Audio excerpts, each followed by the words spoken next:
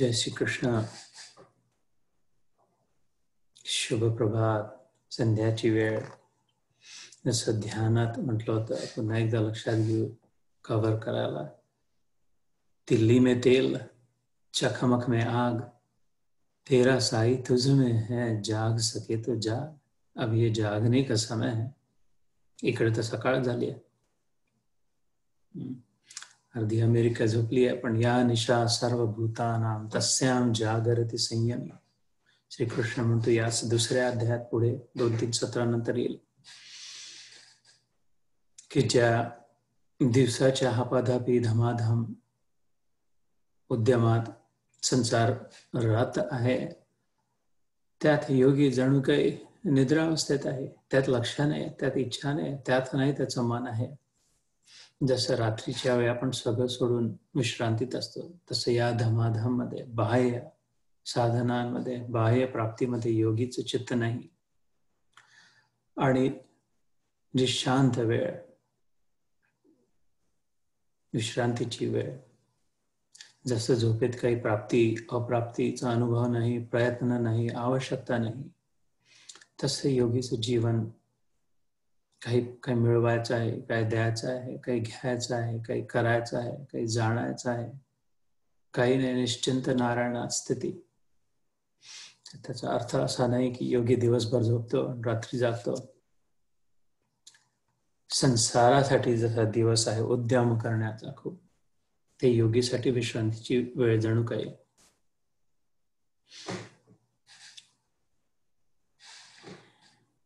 दुसऱ्या अध्यायात सांख्य योगात।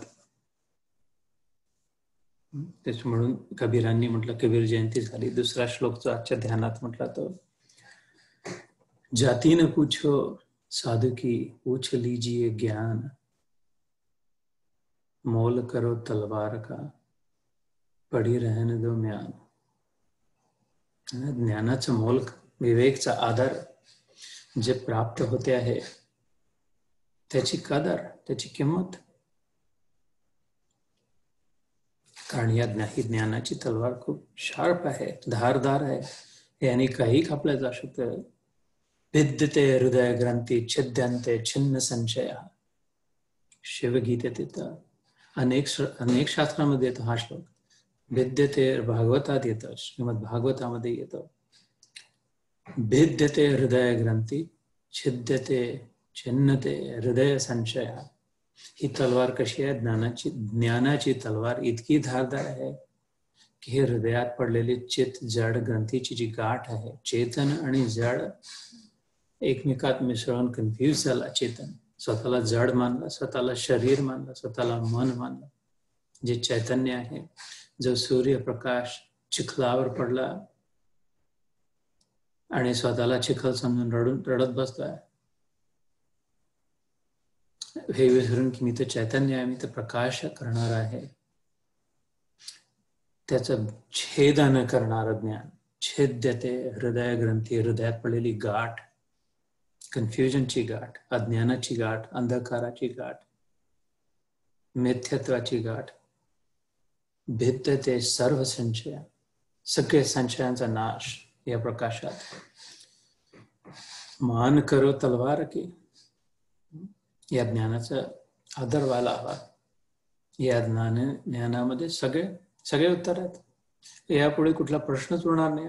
इतकं पॉवरफुल ज्ञान. तर त्या ज्ञानात आपला प्रवास सुरू आहे. भगवद्गीतेतला दुसरा अध्याय सांख्य योग. मागच्या वेळेस आपण सद सदतीसावा श्लोक चालवत हतो. वा प्राप्ससी स्वर्गम जित्वा वा भोक्षसे महिम. निरनिराळ्या प्रकारे प्रकारे श्रीकृष्ण अर्जुनाला निरनिराळे तर्क देऊन समजावून सांगताय नाते गोते तुझा क्षत्रिय धर्म शरीर धर्म वेगळ्या वेगळ्या प्रकारे. आता इथे म्हणतोय एक अजून अजून आत्मज्ञान पूर्णपणे द्यायला द्यायची तयारी नाही. कर्म पूर्ण जो योग शास्त्र अजून पूर्ण सांगण्याची तयारी नाही झाली. आत्म्याचं निरूपण थोडं संक्षिप्त प्रकारे तर झालं. नयनम छिन्नंती शस्त्राणी नयनम दहती पावका. अरे हे सगळे आत्मे आहे तू आत्मा आहे हे सगळं तर झालं. पण अजून योग यात्रा नाही सुरू झाली. थोडासा अजून प्रयत्न लवकर जर आटपून गेला समजून जर घेतला थोडक्यात जर तर पटकन युद्धाला सुरुवात करू शकू म्हणून म्हणतो. आता शेवटचा तर्क हा सांगतो. योगशास्त्र सुरू करण्याच्या आधी की अरे तसंही तुला तर माहिती आहे क्षत्रिय धर्मामध्ये हतो म्हणजे मेल आजार ह हनन म्हणजे मरण.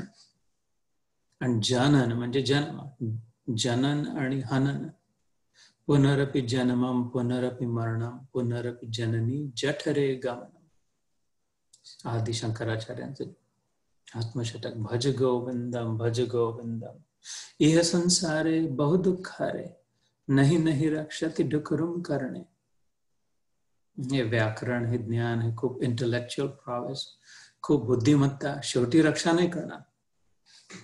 व्याकरणाला संस्कृतमध्ये संस्कृतच्या व्याकरणाला डक्रम म्हणतात. नाही नाही रक्षात डुकरुम करणे हे संसारे बहुदुःखारे. नित्य सन्निहितो मृत्यू कर्तव्य धर्म संग्रह.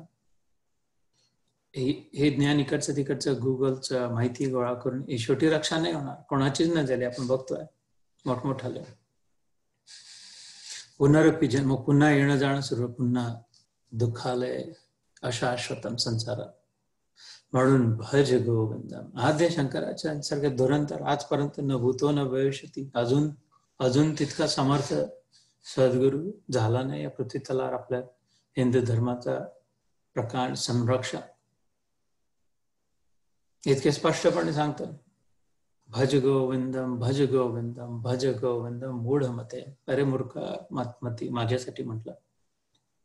पाच सहाशे वर्षापूर्वी हजार वर्षापूर्वी माझ्यासाठी लिहून ठेवते अजून.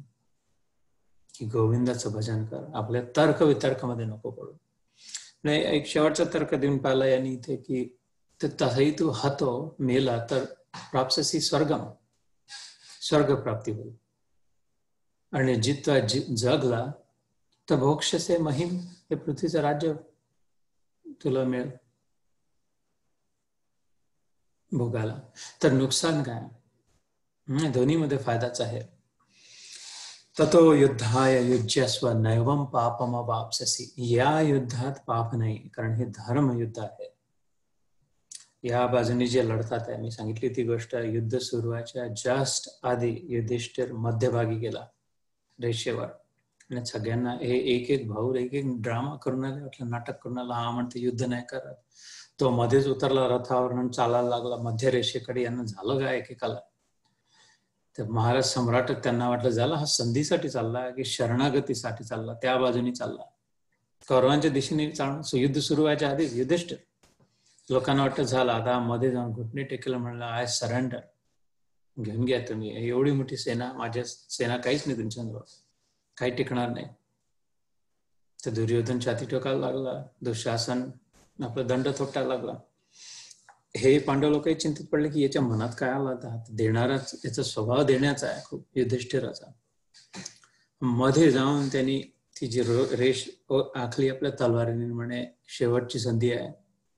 या रेषेच्या पलीकडे जे आहात ते सगळे अधर्माच्या बाजूनी आहे. या रेषेच्या अलीकडे जे आहात ते सगळे धर्माच्या बाजूनी आहे. हे निश्चित की हे युद्ध धर्म युद्ध संपल्यानंतर तिकडचे बाजूचे कोणी राहणार नाही जीव गमावून बसाल इकडचे सगळे शाबूत राहतील. हा शेवटचा मी तुम्हाला चान्स देतो.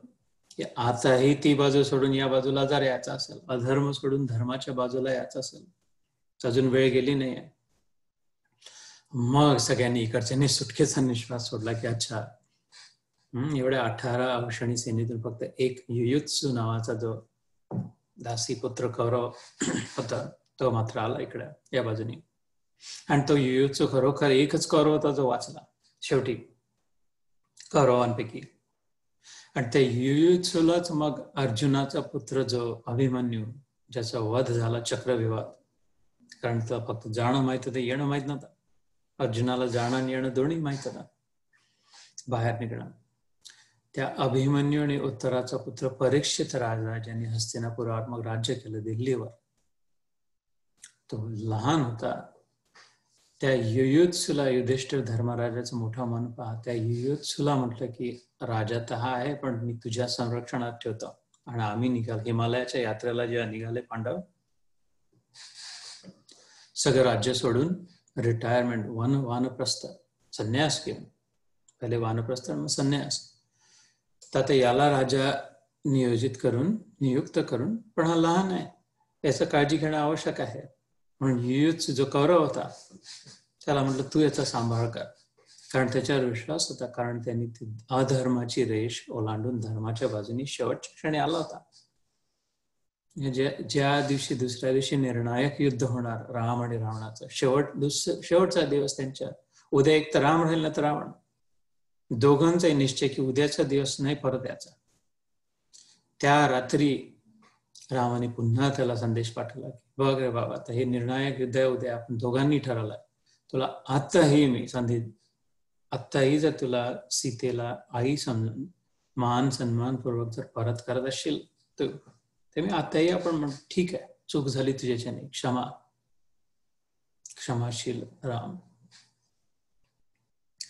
तर धर्म आणि अधर्माचा हतो वा प्राप्ससी स्वर्गम जित्वा वा भोक्षसे महिम तस्मात युद्धाय युज्यस्व नयवम पापम अवापस यात पाप नाही त्यांनी म्हटलं. हे युद्ध कारण की तू या बाजूने लढताय धर्माच्या बाजूने लढतोय. धर्म युद्ध आहे तू आपला त्याग करतोय आपलं देतो आहे धर्माच्या रक्षणासाठी. धर्म रक्षते रक्षित।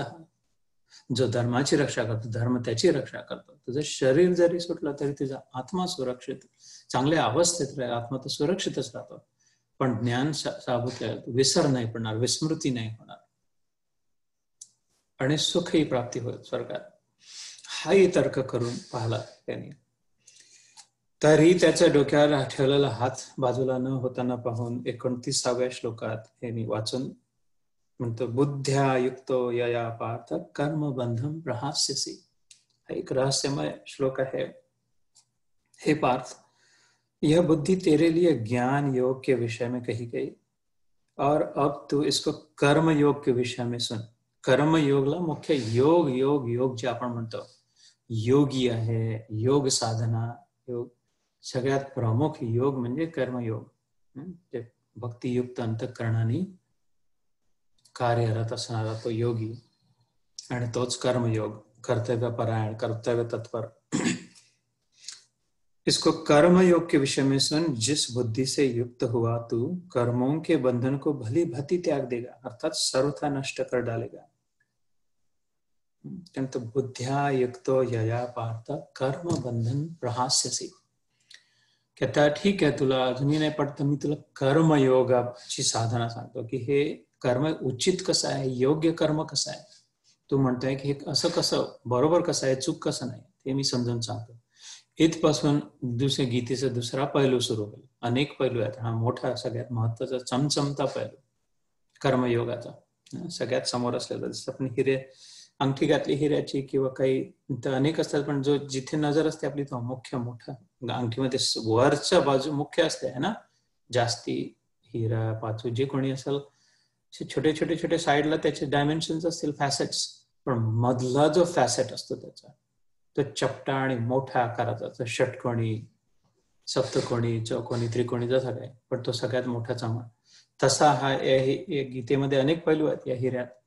पण कर्मयोग नावाचा जो पैलू आहे तो मुख्य समोर दृष्टीपथात आहे. कारण तोच योगी जो कर्मयोगात राहत आहे तो.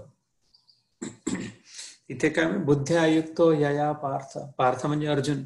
बुद्धिपूर्वक विचार करून तू जर हा समजून घेतला कर्म बंधन प्रहास्यसी. प्रहास्य म्हणजे तू हसून पडशील गंमत वाटेल तुला. हे सगळं जे तू आता म्हणतो आहे हे सगळ्या सगळ्या तर्क वितर्क ज्यात तू फसला आहे दुखी झाला आहे कन्फ्युज झाला आहे हे सगळं तुला हे एकदा लक्षात आलं तर हसू येईल तुला. गंमत वाटेल की अरे हे काय कुठे मी पडलो होतो कोणत्या भानगडीत पडलं होतं. कर्म बंधन पण कर्मबंधन अडकलो आहे कर्तव्य आहे हे करणं आवश्यक आहे ते तसं आहे हे तसं आहे हे करू की ते करू. प्रहास हसत हसत तू पूर्ण तुझं जीवन निटवशील जसं स्वप्न मी तुमच्यासमोर आता दहा हजार मैल बसलो आहे.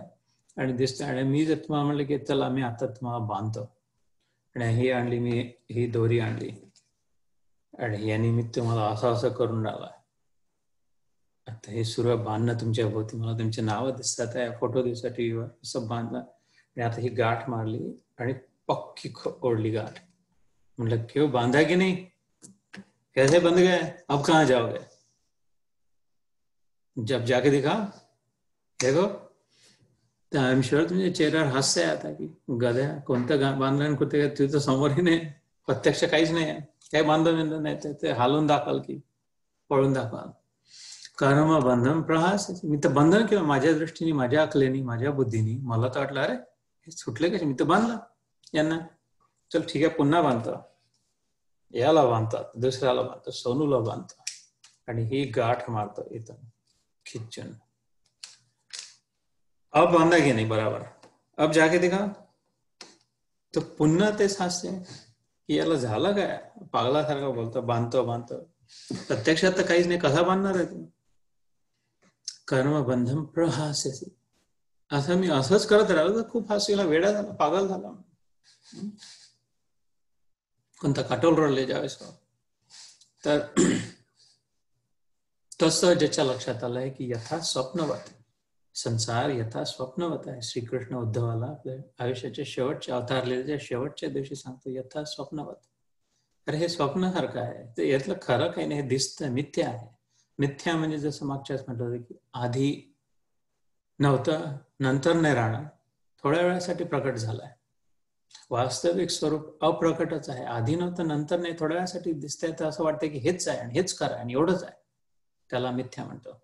ना लाट जी निर्माण झाली ती आधी लाट नव्हती ती तिथे. आणि नंतरही नाही राहत आपण पाहतो लाट. थोड्या वेळासाठी दिसते वाटतं अरे ही किती ही लाट आहे अशी. खरी वाटते अगदी. स्वप्न जेव्हा पाहतो त्या आधी स्वप्नात काही नसते दिसत. नंतरही नाही दिसत. त्यावेळी मात्र खूप खरं वाटतं. धोर पडला असेल रात्री तर त्यात सापाचं जे रात्रीच्या अंधारात गेला मोठा दोर पडलेला असला तर भीती भयभीत होता. कोणाला वाटू शकते साप आहे. आपल्या ड्रायव्हिंगमध्ये आपल्या गॅरेजमध्ये मोठा साप पडला. म्हणजे प्रकाशात लक्षात आलं ज्ञानाच्या प्रकाशात लक्षात की अरे साप वगैरे नाही आणि काही नाही शकत दोर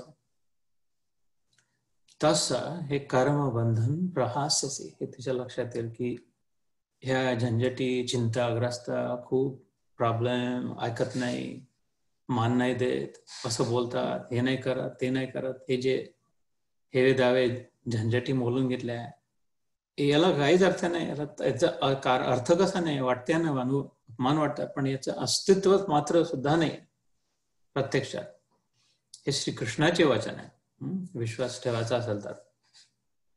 हे थोड्या वेळासाठी प्रकट याच्या आधी आपण हा अध्याय या अध्यायात श्लोक केलेला की हे सगळेचे सगळे लोक पहिले अप्रकट होते आणि नंतरही अप्रकट राहणार आहे. यांचा नाश नाही होते. थोड्या वेळासाठी प्रकट झाले काळजी नको करू.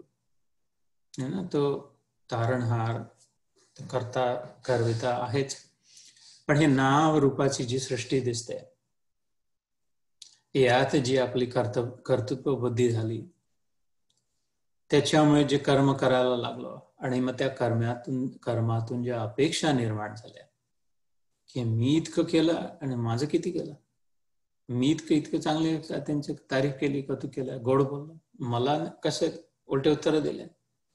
कसं आम्ही इतके गिफ्ट दिले आमच्या लग्नालाही नाही आले आमच्या घरच्या. असं तसे. जे जे काही केलं त्याच्यासोबत जे वापस ओढण्याची जी वृत्ती झाली आहे हे मी पेरला आता याच्यातून मला आंबा मिळेल. हे मी पेरला आता याच्यातून लिंबू मिळेल. हे मी पेरला त्याच्यातून हे जी पेरतानाची जी काहीतरी प्राप्तीची जी इच्छा झाली नुसतं पेरण्यासाठी नाही पण काहीतरी मिळवण्यासाठी जी पेरण्याची प्रेर पेरण्याची जी प्रेरणा झाली टंग ट्विस्टर गडबड चाह, गई, चिंता मिटी मनवा, बेपरवा, जिनको कछून चाहिए वो शाहन के शाह। चाह जी आहे मनात इच्छा, मिळण्याची काहीतरी, मान मिळण्याची, कौतुक करण्याची, तारीफ़ मिळण्याची, वस्तू मिळण्याची, पैसे मिळण्याची, आपल्या मनासारखं जे काय आहे ते मिळण्याची, ती चाह जी आहे, त्याच्यातून चिंता निर्माण झाली. मिळेल की नाही? पूर्ण मिळेल की नाही? नीट मिळेल की नाही? जसे हवे तसे मिळेल की नाही? ज्या रूपात ज्याच्याकडून प्रेम हवा त्या रूपात त्याच्याकडून प्रेम मिळेल की नाही? ते चिंता चिंता चिंता. चाह हीच जर फेकून दिली, चाह गई, चिंता मिटी खत्म फिर खेल नेगेटिव खेल खत्म. मनवा बेपरवा, बिंदास फ़र्स्ट क्लास जिनको कछु न चाहिए, वो शाहन के शाह. तर मग ती अवस्था की कर्म बंधन प्रहासाची हसून पडशील तू. की काय धिंग काय ड्रामा करत आजपर्यंत मी? काय धिंगाणे लावले होते? भांडण तंटे रुसवा फुगवा सगळे ड्रामाबाजी नाटक. याला काही याला अर्थच नव्हता याची काही याचं अस्तित्व मात्र नव्हतं. म्हणून तो म्हणते की आणि हाच तर्क तो म्हणतो युद्धात हे सगळं जे तुला वाटतंय हे काही खूप हे माणसं राहतील की नाही हे राज्य कोण राहील की नाही तुला मिळेल की त्याला मिळेल याच्यासाठी याचं प्रयोजन नाही, या युद्धाचं प्रयोजन आहे. चांगुलपणा साबूत राहील की नाही for the preservation of goodness so that goodness must prevail positive force अच्छाई की जीत हो. धर्म का की विजय, धर्म की जीत हो, अधर्म का नाश हो. सबने सद्भावना रहे. याच्यासाठी हे युद्ध होते. अर्जुन जिंकतो की अश्वत्थामा जिंकतो, की भीम जिंकतो, की दुर्योधन जिंकतो युधिष्ठिर राज्य करतो, की दुर्योधन राज्य करतो. ह्याच्यासाठी युद्ध नाही होता एक एक व्यक्ती मात्रसाठी नाही. व्यष्टीसाठी नाही, समष्टीसाठी. संपूर्ण धर्माच्या रक्षणासाठी. सो ही अशी जर आपली बुद्धी झाली, जे काही कार्य करतो आहे, पुढे तिसऱ्या अध्यायात तर खूप याचं विश्लेषण आहे कर्मयुगात. इथे अमेरिकेत आमचा एक तिसरा अध्याय सुरू आहे, एक आठवा अध्याय सुरू आहे. काल झाला. तर त्या तिसऱ्या अध्यायात खूप डिटेलमध्ये कर्मयोगामध्ये याच्याबद्दल वर्णन येतात आत्ताच कारण त्यांनी म्हटलं मी कर्मयोगच्या दृष्टीने तुला समजून सांगतो. थोडं थोडं सांगितलं. मग तिसऱ्या योगात अजून त्याच्यावर प्रकाश टाकला तिसऱ्या अध्यायात. तर चाळीसवा श्लोक काय? नेहाभिक्रमणाशोस्ती प्रत्यवायो न विद्यते. हा अत्यंत महत्त्वाचा खूप महत्त्वपूर्ण श्लोक. का? स्वल्पमप्यस्य धर्मस्य त्रायत महत्त्व भयात. प्रसिद्ध वाक्य आहे. श्रीकृष्णाची घोषणा आहे स्व अल्पम अपि अल्प म्हणजे थोडासा सुअल्प अगदीच थोडासा किंचित मात्र सो अपि म्हणजे जरी स्वल्पम अपि धर्म असे आपल्या धर्मात जर राहिला आपल्या धर्म म्हणजे हिंदू धर्मात नाही बुद्ध धर्मात ते सगळे ठीक आहेत ते नियम आहेत नियम लावून ठेवलेले आहेत. आपलं डोकं ठिकाणावर ठेवण्यासाठी खूपच मन पागल बेभान न सुटो. वाईल्ड हॉर्स सारखा जंगली घोड्यासारखा म्हणून लावलेले नियम म्हणजे धर्म. श्रीकृष्ण हिंदू धर्माबद्दल नाही बोलत आहे. हिंदू धर्म तर त्याच्यानंतर निर्माण झाला.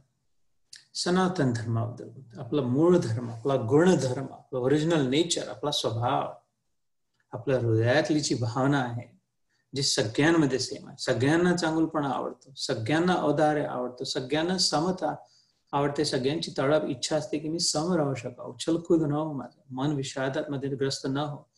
सगळ्यांना प्रसन्नता आवडते. सगळ्या धर्माच्या लोकांना सगळ्या रंगाच्या लोकांना सगळ्या देशातल्या लोकांना सगळ्या काळच्या लोकांना हजारो वर्षापूर्वी लोकांना समता प्रसन्नता नम्रता आणि उदारता हे चार सद्गुण हजारो वर्षापूर्वीच्या राजा महाराजांना आवडायचे. आताही आवडतात. आणि अमेरिकेतल्या गोऱ्या माणसालाही आवडतात आणि तिकडच्या आफ्रिकेतल्या काळ्या माणसालाही आवडतात. आणि बुद्ध भिक्षुकांनाही आवडतात. या अल्ला करणाऱ्यांनाही आवडतात. सगळ्यांना समता प्रसन्नता नम्रता आणि उदारता हे चार गुण आवडतात गुणधर्म. आणि हे सनातन धर्माची भेट आहे ही गिफ्ट आहे सनातन धर्माची. भगवद्गीतेमध्ये प्रकर्षाने प्रसिद्ध भगवद्गीतेची प्राप्ती मुख्य प्रसाद काय मिळतो प्रसादे सर्व दुःखानाम ज्यांनी ते म्हटलं हानी रस्य उपजायते. सगळ्या दुःखांचा नाश होता नाही याच अध्यायात पुढे येईल कसं काय? कारण जी असाम्यवाद आहे असामता विषाद जो आहे आपल्या मनात अशांती जी आहे त्याचं निर्मूलन होऊन सर समूळ नष्ट नष्ट होऊन नाश होऊन त्याच्या जागी समता स्थित होते. समत्वम योग उच्चते चांगल्या वाईट परिस्थितीमध्ये मान अपमानामध्ये सुख दुःखामध्ये शीतोष्ण सुख दुःखेशु लाभा लाभव जया. जय हा श्लोक आपला आधी झाला दोन सत्र आधी. मात्र स्पर्शास्त कौंतेय शीतोष्ण सुख दुःखदा आगम अपायन नित्यम अनित्यम ताम तितिक्षस्व भारत. यांच्या उपहास कर यांच्याकडे दुर्लक्ष कर यांना सहन कर. बघ नुसते यांच्याकडे. हे जे मान अपमान सुख दुःख आहे यांची घृणाही नको करून यांच्या मागेही नको चिपकू. हे येणारे जाणारे वारे वाहतात. जसं मी आपल्या छपरीतून जाणारी वरात माधवनगरच्या हॉलमधून रोजच्या रोज बँड बाजेपासून दिमाग खराब रोज बँड बाजा सकाळी उठून संध्याकाळी उठून धकड धकड धकड धकड तर त्याच्यासोबत प्रत्येक संदर्भासोबत आपण निघून नाही जातो. आपला प्रत्येक घरात आपण दुल्ला राजा चलो इसके साथ चलो भी. आपणही आहे करके रोजच्या रोज कुठे? आणि कधी मुर्दा गेला तर राम, नाम, सत्य है, मुर्दा भरा, मस्त है, करून त्याच्यासोबत छाती ठोकून रडायला नाही लागायचं. अरे, कसा होता, चांगला होता, मेला. ते समोरून बघत राहते. आज वरात केली, काल अंत्ययात्रा केली. वरात, अंत्ययात्रा. मी वरातवाला आहे ना, अंत्ययात्रावाला आहे. तर बघणार आहे फक्त. तसे समोरून येणारे सुख, दुःख, मान, अपमान, लाभ, हानी, जय, पराजय, हे येणारे आगम आगम येणारे, अपायन जाणारे. अनित्य. अशा टिकणार नाही. ना वरात आपल्याच घरासमोर संदल पूर्ण वेळ वाजवत नाही बसली त्यांनी. पोलीसला बोलावलं असतं. किंवा मुर्दा आणून आपल्या अंगणात नाही ठेवला. चलो लगाव इसके टाळू पे पेढे लगाव दही लगाव. म्हणजे ते आले आणि गेले. ते बघा आपण बघून निघून गेलो. तसंच हे मनातले विचार किंवा बुद्धीला होणारे अनुभव या संसारातलं सगळंच जे शरीर सुद्धा येणार जाणार आहे. मन चांगलं वाईट होत जातं कधी विचार चांगले वाईट होत जातात बुद्धीमध्ये कधी क्लॅरिटी असते कधी कन्फ्युजन असते हे सगळं जे सगळं संपूर्ण जे काही निर्माण झालं ते वारे वाहतात तसं आहे. ती याच्यामध्ये ते जीवन नष्ट होऊन जाईल याच्या मागे लागलं तर. साक्षी भावाने बघून तर हे इथे म्हणतं स्व या धर्माबद्दल बोलताय. कोणता धर्म ज्याचे चार खांब आहेत? समता प्रसन्नता नम्रता उदारता. स्वल्पम अपि धर्म असते थोडं जरी प्रयत्न केला या धर्मात थोडं जरी टिकलो की थोडी समता ठेवली विषादच्या परिस्थितीमध्ये थोडी नम्रता आपली जर ठेवली खूप छाती टेकून खूप आपली मोठेपणा न दाखवून प्रामाणिकपणे विनम्र तोंड चोपडेपणा नाही नुसते शब्द शाब्दिक विनम्रता नाही कि मी असं केलं नाही नाही अरे तुम तुम बडे हो तुम हमसे हम तो क्या छोटे आहे हम दासाना की दास एक शब्द जो विनम्र असतो त्याला शब्दांचा उपयोग घ्यायची गरजच नाही. विचारातून आचरणातूनच विनम्रता व्यक्त होते. शब्दांचा जर आधार घ्यावा लागला विनम्रता व्यक्त करायला मग ती अप्रामाणिक विनम्रता. प्रामाणिक विनम्रता तर तशीच व्यक्त होते. कापड पाण्यात बुडवून जर बाहेर काढला पूर्ण डुबवून ते बाजूला धरलं तर हे कापड ओलं आहे की नाही आहे याचं वर्णन नाही करावं लागत. चिंब दिसते टप टपकून राहिला त्याच्या. लक्षातच येते जो प्रेमात ओला आहे प्रेमाने ओला आहे त्याचं काही स्वतःचं वर्णन करण्याची गरज नाही त्या ओल्या कापडाला. अरे मी ओला आहे खूप पाणी आहे पिळाल तर गळ्याल दिसूनच राहिलाय. म्हणून सिन्सिअरिटीकडे लक्ष असाल प्रामाणिकतेपणे ऑनेस्टी ऑथेंटिसिटी ऑथेंटिक असाल जीवन आपलं जे आहे जेवढं आहे जसं आहे पण ऑथेंटिक असाल. खरं असायला दिखावं नको. ड्रामाबाजी नको. इमेज मॅनेजमेंटमध्ये वेळ नको जीवन नको झाला तर समता नम्रता प्रसन्नता. जी कुठली परिस्थिती आली जशी खुशी आली त्यात प्रसन्न राहू शकणं आपलं. कारण आपल्या आत्म्याचं दर्शन करून आणि उदारता औदार्य देण्याची वृत्ती घेण्याची वृत्तीने नो स्ट्रिंग्स अटॅच्ड जसं म्हणतो. कालच्या एका सत्रात मी म्हटलं होतं की करणं हे करू की ते करू की काय करू? करण्या योग्य काय? हा प्रश्न की वट शुड आय डू कुठलं काय करायला हवं? कसं करायला हवं? त्याचं स्पष्ट एका छोटस उत्तर एकदम राम बाण कृष्णाने भगवद्गीतेत सतराव्या, अठराव्या अध्यायांमध्ये काय योग्य, काय अयोग्य या दोन्ही च्या परिभाषा पुष्कळ आहे. सतरावा अध्याय आणि अठरावा अध्याय. दातव्यम इति कर्तव्यम। कर्तव्य संस्कृत मध्ये म्हणजे करण्यायोग्य काय? ज्ञातव्य, म्हणजे किंवा ज्ञातव्य म्हणजे जाणण्यायोग्य काय? गंतव्य म्हणजे कुठे जाण्यायोग्य काय? प्राप्तव्य म्हणजे प्राप्त करण्यायोग्य काय? तस कर्तव्य कर्तू. करण्यायोग्य काय आहे? त्याचं उत्तर आहे, दातव्यम इथे कर्तव्यम. देणंच हे करण्यायोग्य फक्त. कर्तव्य एकच आहे. मनुष्य जन्माचं प्रयोजन एकच आहे. इतकं सिम्प्लिफाय कर. देणं. बस. घेणं नाही. तिसऱ्या अध्यायात याचं विश्लेषण येतं. कर्मयोगात. कर्मयोगाच्या सेंटरमध्ये देणं. यज्ञ यज्ञ या आचारत कर्म समग्रम प्रविलित यज्ञाच्या भावनेने. यज्ञ म्हणजे धुवा चाटण्याच्या भावनेने. इट विटा ठेवून लाया टाकून इदम इंद्रा इदम नमम स्वाहा. इदम वरुणा इदम वरुणा. नमम स्वाहा. करून पदार्थांचा यज्ञाबद्दल नाही. भावनेचा यज्ञ. खरोखर प्रामाणिक देण्याच्या भावनेचा यज्ञ. तर या धर्माबद्दल श्रीकृष्ण म्हणतात स्व प्रसिद्ध खूप सुंदर खूप दिलासा देणारा श्लोक आहे एनकरेजिंग आहे. स्वल्पमप्यस्य धर्मस्य त्रायते. त्रायत म्हणजे रक्षा करतो. कशातून? मोठ्या महत्त्व. महत म्हणजे मोठ्यात मोठ्या. काय? कशा मोठ्यात मोठ्या राक्षसापासून दैत्यापासून कशापासून? संकट भयात. मोठ्यातल्या मोठ्या भयान भय म्हणजे काय? इनसिक्युरिटी आपल्या मनात जी एन्झायटी आहे अँक्शस होऊन जात. खालीवर वाटायला डामाडोल व्हायला लागतं मन आत. त्या त्राय ते महत्त्व मोठ्यातल्या मोठ्या इनसिक्युरिटी पासून या धर्मात थोडं जरी चालण्याचा प्रयत्न केला गीता योगमध्ये गीता धर्मात गीतेत निरूपण केलेल्या धर्मात. हे यात यात कोणता धर्म निरूपण केला? मानव जातीसाठी मानव मात्रसाठी अशी कुठला देश नाही जिथे हा लागू पडत नाही. असा कुठला काळ नव्हता जिथे हा लागू पडत नाही. असं कुठली व्यक्ती नाही ज्याच्यासाठी हे योग्य नाही. अशी कुठली परिस्थिती नाही ज्या ते लागू नाही पडत. अशी कुठली वस्तू नाही निर्माण ज्याच्यासाठी हा हे इरेलवंट आहे. तो मूळ धर्म हिंदू धर्म नाही फक्त हिंदू धर्म मूळ धर्मातूनच आलेला आहे आणि श्रेष्ठ आहे. सुंदर आहे छान आहे अभिवादन आहे. मात्र मूळ धर्माचं महत्त्व मूळ धर्म. समता प्रसन्नता नम्रता आणि उदारता. स्वल्पम अपि धर्मस्य त्रायते महत्त्व भयात. म्हणून प्रयत्न करायला हवा. जर ईश्वर सांगतो की थोडा थोडा जरी प्रयत्न केला तरी अत्यंत इन्सिक्युरिटी म्हणजे सिक्युअर वाटेल. सेफ वाटेल स्थित वाटेल काळजी कमी होईल. जे जसं आहे तसं स्वीकारण्याची वृत्ती होईल. प्रॉब्लेम नाही वाटणार इतके जाणवणार. परिस्थिती जरी तशीच राहिली तरी आत त्याचा अनुभव बदलेल. त्याच्यानंतर त्या गोष्टींचा अपमान नाही वाटणार. त्याच व्यक्तीने तेच शब्द तसेच पुन्हा म्हटलं तरी यावेळेस मात्र कर्मबंधन प्रहास मनात हसूया की कसं कशी गंमत करताय? ज्या गोष्टीमुळे आग होतो ते हृदयात पहिले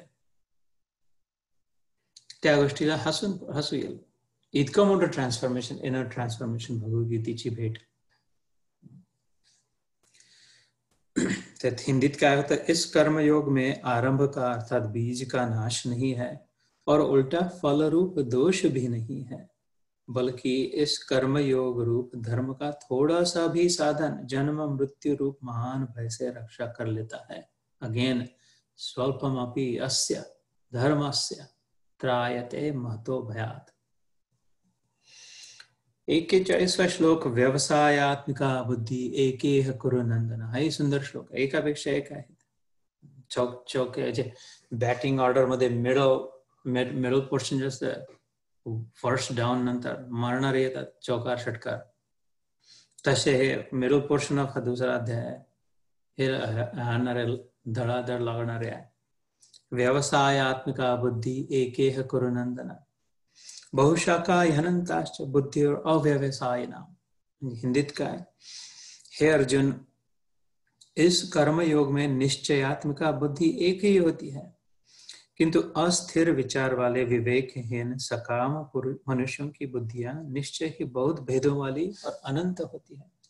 व्यवसायत्मिका बुद्धि, व्यवसायत्मिका म्हणजे प्रोफेशनल ज्याला प्रो म्हणतो professional cricket player professional actors professional physicians professional doctors असे जनरल डिसिप्लिन देऊन नाही हे घेऊन पहा नाही ते घेऊन पहा ते आपल्याला सगळ्यांना येते प्रोफेशनल फिजिओथेरपिस्ट अखेर तू असं स्ट्रेच करून पहा तसं स्ट्रेच करून पहा होईल तर होईल नाही तर अजून उलट तुटेल नाही तर कधी हे कर नाही तर कधी ते कर कधी होमिओपॅथिक घे कधी आयुर्वेदिक घे कधी घे जो प्रोफेशनल आहे म्युझिशियन्स थोडं धबड धबड धबड वाजून तबला सगळेजण तबला वाजत लहानपणी. प्रोफेशनलचा तबला ऐकला तर एकदमच भन्न होऊन जा त्या प्रोफेशनलचं महत्त्व काय बिकॉज त्यांचं one pointed attention one focus ठेवलं त्यांनी त्या साधनेमध्ये. तेच त्याच्याच मागे लागले. फिजिओथेरपीच शिकायची आहे. मेडिकल जी सायन्स आहे तेच शिकायचं आहे. म्युझिक जे आहे तेच शिकायचं आहे. इन्फॉर्मेशन टेक्नॉलॉजीमध्ये अजून अजून फोकस करा भगवद्गीतेमध्ये अजून अजून फोकस करा प्रोफेशनल भगवद्गीता. ते डिटेलमध्ये नीट कळून प्यायचा ती झाली व्यवसायात्मिका बुद्धी म्हणजे प्रोफेशनल झालं. त्याच्या लक्षात. एक एह नंदना एक इह. इह म्हणजे जी ठरवलं जे ज्या प्रोफेशनला एक्सेप्ट केलं इह म्हणजे इथलं. बाय द वे सोनू तू नेहा शब्द आला बॉस तुझ्या धर्मपत्नीचा याच्या आधीचा जो श्लोक केला तर आयडोंट नो तुझं लक्ष होतं का? नेहा अभिक्रमा श्वस्ती प्रत्यवायो न विद्यते. स्वल्पमाप्यास्य धर्मस्य जो म्हटला श्लोक त्याच्या पहिले होता नेहा अभिक्रमणा श्वस्ती प्रत्यवायो न विद्यते. नेहा म्हणजे न इहा. इह म्हणजे इथली. ज्या मुलींचा बहिणींचा ना नेहा असते समजून घ्यावा न इहा इथली नसलेली म्हणजे कुठली तिकडची पलीकडची. त्या दोन्ही प्रकारे म्हणू शकतो डिपेंडिंग ऑन घरचं वातावरण कसं असेल तो वापर जसा वाटला तसं. इथली नाही तिकडची आहे. कुठली सांग सांगण्याची हिंमत नाही कुठली आहे. किंवा तिकडची म्हणजे अप्सरा असू शकते किंवा तिकडची म्हणजे देवी नेहा शब्द देवीसाठी आहे.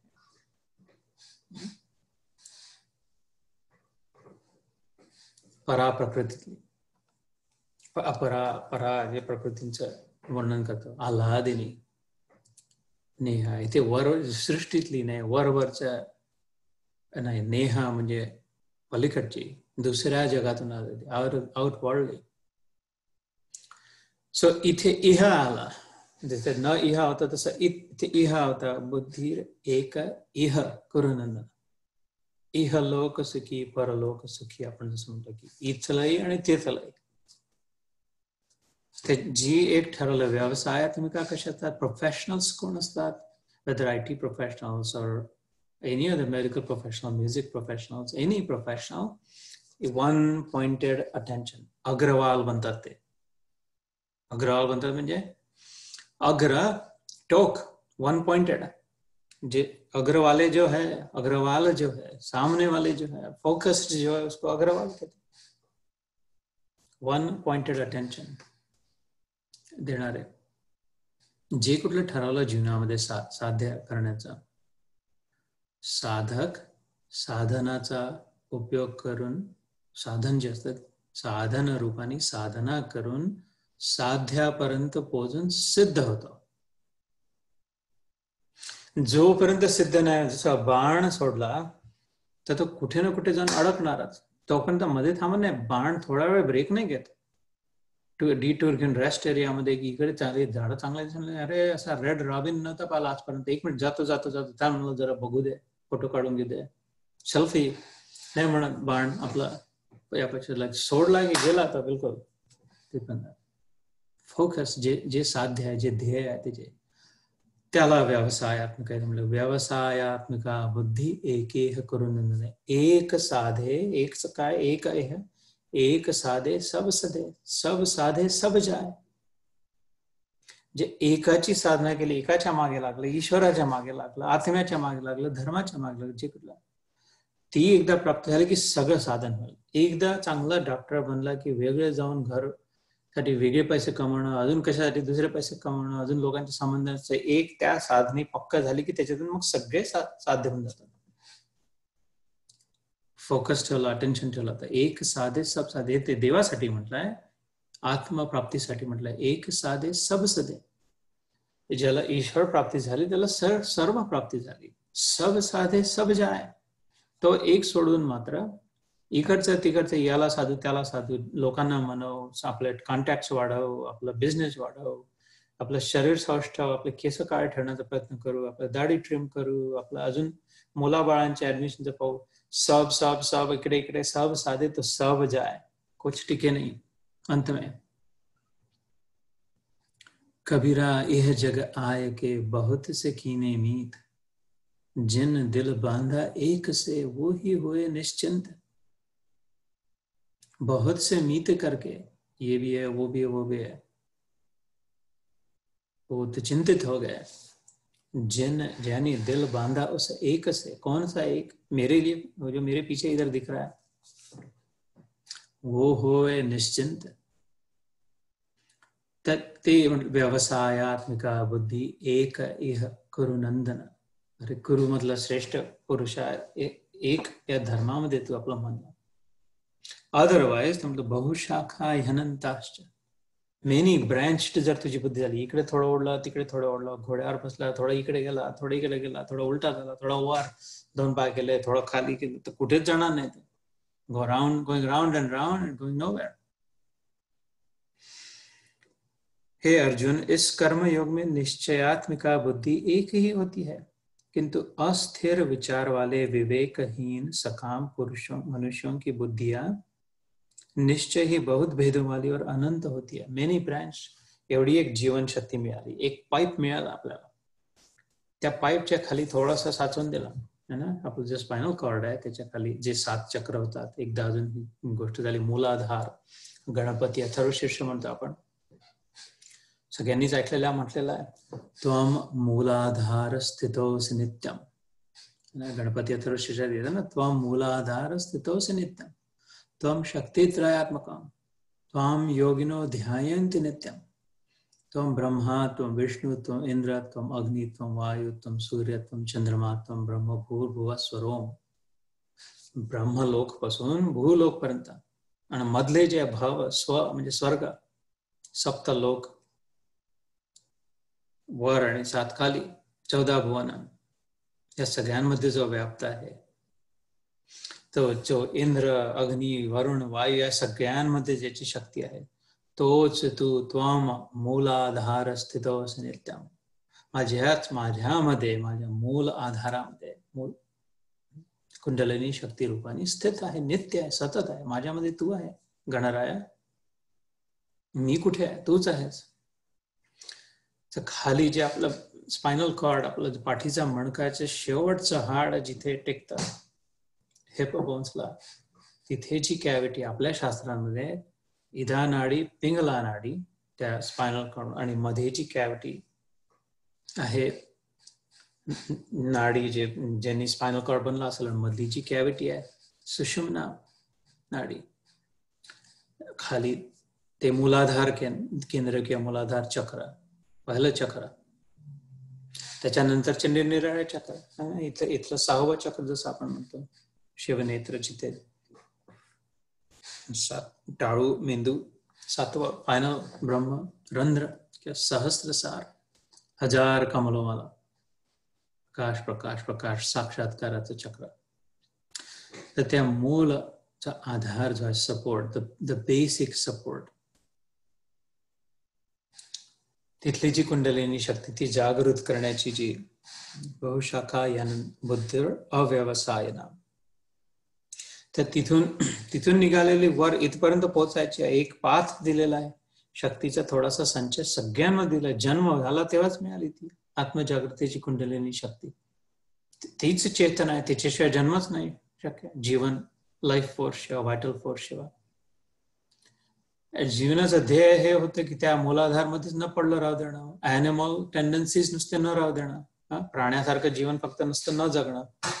पण त्याचं उद्धार करणं ओध धारण करणं. ओध म्हणजे वर. तिला वर चढवणं कुंडलिनी शक्ती तिला जागृत करणं सुषुप्त अवस्थेत सुषुम्ना नाडीत पटलेली. आहे पण कल्पना नाही आहे. सुषुप्त म्हणजे काय? आहे पण माहीत नाही. दगड पडलाय दहा हजार वर्षापासून याच जमिनीवर मागच्या अंगणात पडलाय. तर त्याला काही माहितच नाही. सुषुप्त अवस्थेत आहे. की मी कोण आहे का बरं आहे कशासाठी आहे करायचं काय हे कोण आहे काहीच कल्पना नाही. म्हणजे सुषुप्त गहरी नींद. डीप स्लीप तसंच सुषुप्त अवस्थेत ती आपण आलो जन्माला हे आला हेला आणि पाणी भरून मेला.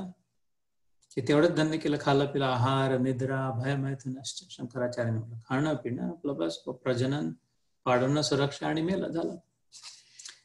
तसं नाही त्याचा उद्धार व्हायला दर सात वर्षांनी आपल्या शास्त्रामध्ये उपनिषदांनी म्हटलं सात चक्र का दिले? दर दर सात पहिला जो पहिलं सात वर्ष बाळाचे तिथेच त्याला ती तीच स्वतःची आयडेंटिटी पक्की होण्यासाठी स्वतःची सिक्युरिटी पडण्यासाठी आणि मग दुसरे सात वर्ष मग दुसरे सात वर्ष मग दुसरे सात वर्ष. करत करत आपलं प्रगती व्हायला हवी उन्नती व्हायला हवी लक्ष प्रकाश वाढायला हवा जीवनातलं लक्षात यायला हवं समजायला हवं. तत्व तत्वदृष्टी तात्विक दृष्टी व्हायला हवी. फिलॉसॉफिकल स्पिरिच्युअल इनवर्ड टर्न व्हायला हवा. असं करत करत एकोणपन्नासाव्या वर्षी seven times seven is forty nine परंतु यात्रा इथपर्यंत पोचायला हवी की पन्नासाव्या वर्षी रिलीज घेयस्य नित्य संन्यासी भगवद्गीते त्याचा पाचव्या अध्यायात तिसरा श्लोक. ज्ञान कर्म संन्यास योगातला. गेयस्य नित्य संन्यासी यो न द्वेष्टी न कांक्षती निर्द्वंद्वो हि महाबाहो सुखम बंधात मुच्यते पन्नासाव्या वर्षी अशी परिस्थिती यायला हवी की न द्वेष्टी न कांक्षती कोणाचे प्रति द्वेष नाही. आणि कशाचीच आकांक्षा नाही. तो खरा सन्यासी संन्यासी श्रीकृष्ण म्हणतो. तसा संन्यास मिळावा, पन्नासाव्या वर्षी. नित्य संन्यास व्हावा. घर सोडून जायची आवश्यकता नाही. अवधू सो जन हम का भावे? भूल को घर लावे. घर में मुक्ति, घर ही युक्ति. घर त्यज बन नहीं जाए. उन मन रहे, ब्रह्म को छीने. आपल्या आताच जो ब्रह्माचं चिंतन करतो त्याचं मन अनुमान झालंय ओध मन मनातून उठलेला उपरतीला प्राप्त.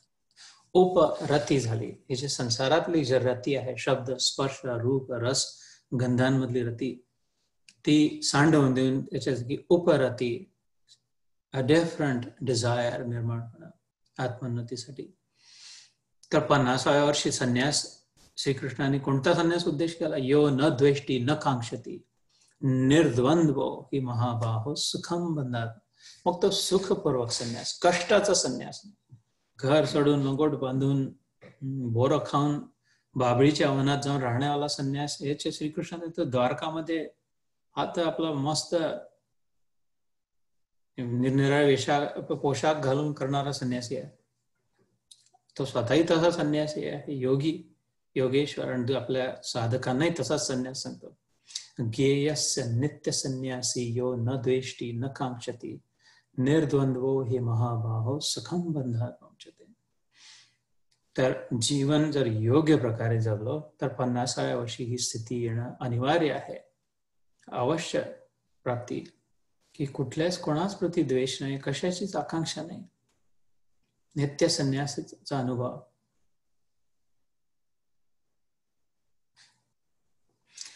तर पण त्याच्यासाठी फोकस हवा. जशी ती कुंडलिनी शक्ती त्या एका फोकस त्या चॅनल मधून त्या पाईप मधून त्या पाठीच्या मणक्यातून स्पायनल टॅप स्पायनल कॉर्ड मधून वरपर्यंत वर ever it's call I forget medulla oblongata प्रवास तिचा होऊन एनलाइटनमेंट होईस फोकस ठेवायला हवा. जसे basketball players cricket players actors रोज रोज सराव करतात. आणि त्याच्यानंतर मग जेव्हा मैदानावर ऐन मॅचच्या वेळी गेल्यावर ते लावू शकतात ओढवू शकतात मैदानाच्या बाहेर. झोपा काढल्या दिवसरात कधी केलं कधी नाही म्हटलं ठीक आहे ना मॅच को तेरा दिन आहे बाद जाऊन टपकले मैदानावर तर काय माहिती क्लीन बॉल होऊ शकतं. सराव सिरियसली सराव तर प्रॅक्टिस साधना तसे हे आत्मोन्नतीची साधना रोज थोडा रोज एखादा गीताचा श्लोक रोज थोडा वेळ ध्यान. थोडी गीता थोडं ध्यान थोडी गीता थोडं ध्यान थोडी गीता थोडं ध्यान. नुसतं वाचणं नाही नुसतं वाचन वाचन नाही नुसतं पाठांतर नाही. नुसतं एक काहीतरी आपलं अनुष्ठान म्हणून अध्यायावर वाचले अध्याय तसं नाही. Slowing down to reach there quicker मी कान्हाला म्हणतो अरे हळूहळू हो थोडा जरा लवकर पोचायचं असेल तर हळूचा हळू हो Paradoxical slow down to reach there quicker धड धड धड धड धड धड धड कुठे चाललाय काही माहित नाही पोहोचलाय की नाही काहीच कल्पना काहीच नाही स्लो डाऊन एक श्लोक वाच फक्त दोन श्लोक वाच मे बी पण प्रोसेस इंटरनलाइज कर प्रोसेस कर make it your own this should not be Jitu Bhai's or this should not be someone else's. Make this your own. Gita is our own for everyone else. Krishna is our own. Krishna is for everyone. Krishna is already in everyone. तर त्याचा प्रत्यक्ष स्वतःच अनुभव करणार so I know I have taken enough time पुष्कळ बराच वेळ झाला हे अर्जुन इस कर्मयोग में निश्चयात्मिका निश्चय करायला बुद्धी एकही होती व्यवसायात्मिका become a professional god seeker don't remain in amateur तो म्हणतो असं वरवरचा नको राव पक्का निश्चय कर याच्यामध्ये. यालाच महत्त्व ते यालाच आपलं जीवन बनव प्रोफेशनल जसं आपलं जीवन त्यालाच बनवतं. तर इथपासून जे बेचाळीस या श्लोकापासून जे सुरुवात होत ते अजूनही कलाटणी घेत आहे भगवद्गीता. अजूनच वर्षी आता सध्या. जसं विमान पहिले जाऊन डोक्याला ताप असते विमानतळावर लाईनीत लागा बॅगा उचला त्याच्यावर ठेवा आणि मग त्या एजंट सोबत झंझट येतो म्हणते नाही नाही तीन किलो जास्ती आहे दहा हजार द्यावं लागेल. नाहीये कसंही पटो पाटो करून घामा घूम मग पट्टा निकालो जुते निकालो. अजून ड्रामा पोलिसाचे खूप ताप ताप ताप डोक्याला आता मेकॅनिकल फेल्युअर आहे एसी नाही चल रहा है विमान में हे विषाद योग होता पहिला जसा. मग आता दुसऱ्या अध्यायात थोडं बसलो बापा विमानात जाऊन म्हटलं पट्टा लावला दिसून राहिलाय इकडे तिकडे आता विमान इतर विमान हालताना दिसून राहिले. आपल्याला थोडा वेळ आहे. आता जे आजचं जे झालं ते कसं आहे की विमानही थोडं मागे सरकला. पायलटनी म्हटलं चला आपली टर्न आली आता आपल्याला धावपट्टीवर जायची वेळ आली. आणि खरंच हळूहळू हळू जाताना स्लोली पाचच्या स्पीडने विमान हालताना दिसत होतं आजच्या ह्याच्यात. आता पुढच्या पुढच्या वेळेस कसं होणार की आप युअर नंबर आपला अनाउन्समेंट झाली की आता आपलं ready ready for take up flight attendants take your place आता मात्र वेगाने जाणार एकदम फास्ट धावणार पुढच्या सत्रामध्ये. आणि त्याच्या पुढच्या सत्रामध्ये ऍक्च्युअल वर जातं विहंगम दृश्य दिसावं. टेक ऑफ हे आजोबाचं सगळं वर खाली जसं आहे तसं सौंदर्य सृष्टी दिसावं लागेल. So now the time is coming to take off भगवद्गीतेतला. Next time around we are going to start picking up pace on the runway धावपट्टीवर पुढच्या पासून थोडं वेगाने सुंदर सुंदर एक खूप खूपच महत्त्वपूर्ण खूपच प्रभावशाली खूपच शक्तिशाली श्लोक येणार आता. आतापर्यंत तर होतेच पण आता हळू यात्रा होती ते एकदम स्पीड पिकअप करत त्रैगुण एक वन ऑफ माय फेवरेट श्लोक त्रैगुण्य विषया वेदा निस्त्रैगुण्य भवार निर्द्वंद्वो नित्य सत्वस्त निर्योग क्षेम आत्मवान। हे छोटीशी गोष्ट शंकराचार्यांशी जोडलेला हा श्लोक आहे. हा पंचेचाळीस हा श्लोक आहे. पुढच्या वेळेस आपण याच्यावर डिटेलमध्ये जाऊ. आणि अठ्ठेचाळीसचा श्लोक होते. पुढच्या वेळेस नाही जाणार पण योगस्थ कुरुकर्माणी संगम त्यक्त्वा धनंजय सिद्ध असध्य समोभूत्वा समत्वम योग उच्चते समतेची पहिली व्याख्या श्रीकृष्णाने पहिल्यांदा केली. समत्वम योग योगाची योग म्हणजे काय? याची व्याख्या तर समता काही ज्ञान. समतेला योग म्हटलं. जो समतेत स्थित आहे तो योगी. समत्वम योग उच्चते हे जे दोन श्लोक आहे हा पंचेचाळीसवा आणि अठ्ठेचाळीसवा श्लोक. शंकराचार्य जेव्हा निघाले त्यांच्या त्यांच्या वडिलांचा मृत्यू झाल्यावर वडील त्यांचे लहानपणापासून गीता शिकवायचे. सगळ्यात पहिला शंकराचार्य गीता मी जर त्यांचे चरित्र तर गीता शिकणं सुरुवात केलं त्यांचे वडील ब्राह्मण होते अर्थातच ब्राह्मण कुळात जन्मले आणि सगळ्यांनाच शिकवायचे गावात केरळमध्ये. आणि त्यांचा मुलगा येऊन बसायचा आणि तोही शिकला. शंकर ही शंकर पण शिकला आपल्या वडिलांकडून गीता. आता तर शिवजींचा अंश अवतार त्याचं तर तेज तो स्वतःसोबत घेऊन आला होता. पण शिकवण्याची आवश्यकता नव्हती. पण धर्माला अनुसरून ना त्याची ते योगी योगी यात्रा केव्हाची सुरू झालेली होती? पण जेव्हा वडील वारले आणि मग त्यांना असं झालं की मी जायला हवा. मी माझी साधना करायला हवी. हिमालयाच्या यात्रे नॉर्थ उत्तर दिशेकडे भारत प्रवास भारत भ्रमण यात्रा करायला हवी. त्या सोडायला गेली. त्या सगळ्यांनी त्यांना म्हटलं अरे नको सोड नको जाऊ. आईनी म्हटलं आईनी खूप थांबवण्याचा प्रयत्न केला की माझं कोण करेल बाबा? वडील नाही आता तू तर माझ्यासोबत राहायला हवा.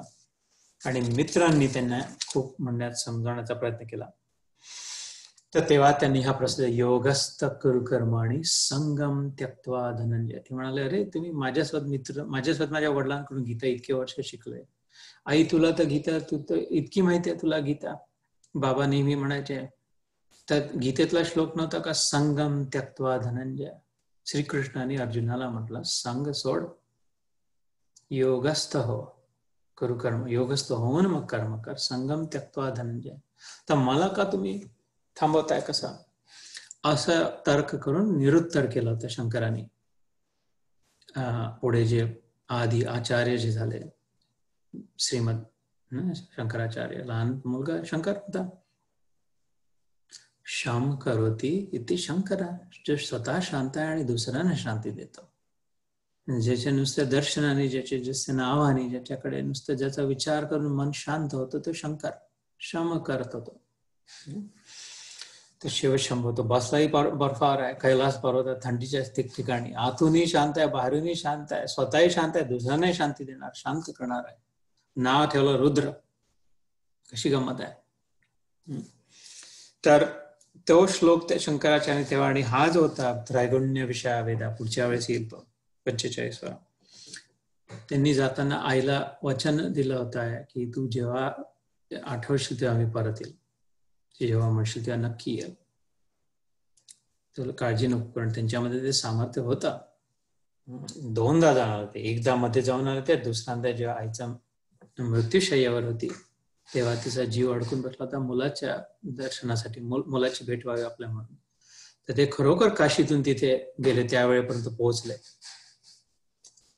तर ते पोहोचले आणि मग आई नी प्राण सोडला. भेट झाल्यानंतर. तर मग ते अंत्ययात्रेसाठी मुलाचं कर्तव्य म्हणून ते निघायला गेलं. ते ब्राह्मणांनी थांबलं कर्मकांडी ब्राह्मण ते म्हणे तू संन्यास घेतलाय. परत नाही येऊ शकत तुला तुला अधिकार नाही तुला हक्क नाही हे कर्मकांड करण्याचा. जे बुद्धू अज्ञानी कर्मकांडात गुंतलेले वेदवादरता नुसते वेदात असं म्हटलं वेदात तसं म्हटलं हा मंत्र तो मंत्र हे फूल ते फूल असं नैवेद्य तसा नदी एवढ्यापर्यंत ज्यांची बुद्धी सीमित झाली की त्याच्या मागचा मतीचा अर्थ काय आहे? त्याचं मर्म काय स्पिरिट काय त्याची भावना न समजून घेता फक्त क्रियांमध्ये जे अडकून घेतले ते ब्राह्मण म्हणाला की तू संन्यास घेतला आणि वेदांत म्हटलं म्हटलं की संन्यास ज्याने घेतला तो परी परत नाही शकत घरी आणि त्याचे गृहस्थ धर्माचे जे क्रिया त्याचा हक्क तुला नाही. तुझ्या आईची अंत्य क्रिया तू नाही करू शकत. तर त्या मग त्यांनी समजवलं तर्कानी पुन्हा म्हणजे असं कसं उलट ज्ञान मी त्याच्यासाठी मी आलो इथे तुम्ही मला नाही थांबू शकत. तुम्ही नाही शिकले का? तुम्ही इतकी गीता शिकले लहानपणापासून. त्रैगुण्य विषया वेदा निस्त्रैगुण्य भवार्जुन हा श्लोक मग त्यांनी त्या ब्राह्मणांना समजून सांगितलं की अरे तुम्ही त्रिगुणातच फसले आहात. इथपर्यंत केरळमध्ये राहून तुम्ही आता झाले तीस वर्षाचे जे काय सोळा वर्षाचे झाले असाल. तुम्ही याच्या पलीकडे केव्हा जाणार? वेदांमधलं जे त्रिगुण सात्विक राजसिक तामसिक सत्व राजस ताम गुड बॅड अगली याच्यातच फसून बसले अजून. त्रैगुण्य विषया वेदा निस्त्रैगुण्य भव अर्जुन. कृष्णाने काय सांगितलं अर्जुनाला? या तीनच्या पलीकडे झाला सांगितलं ना. याच्यात अडकून नको झाला सांगितलं की हेच मंत्र हाच तुझा अधिकार तो ब्राह्मण कुळ तू संन्यास घेतला तू गृहस्थात नाही शकत असं नाही करू शकत तसं. निस्त्रैगुण्य केव्हा होणार तुम्ही? याच्या पलीकडे केव्हा जाणार? गुणातीत अवस्था कशी प्राप्त होईल तुम्हाला? इथेच जर तुम्ही घुटमळत बसले तर. मग त्यांनी म्हटलं ठीक आहे. आणि त्यांना पटलं आणि मग त्यांनी त्यांना त्यांच्या आईची अंत्यक्रिया करू दिली. तर हे दोय हे सांख्य योग. दुसरा अध्यायाचं महत्त्व शंकराचार्यांनी खूप याचं महत्त्व भाष्य शंकर भाष्य खूप सुंदर खूपच प्रभावशाली. तर म्हणून हलकासा उल्लेख केला पुढच्या वेळेस येतील हे श्लोक याचा. तर आज आपण आता इथे थांबवू.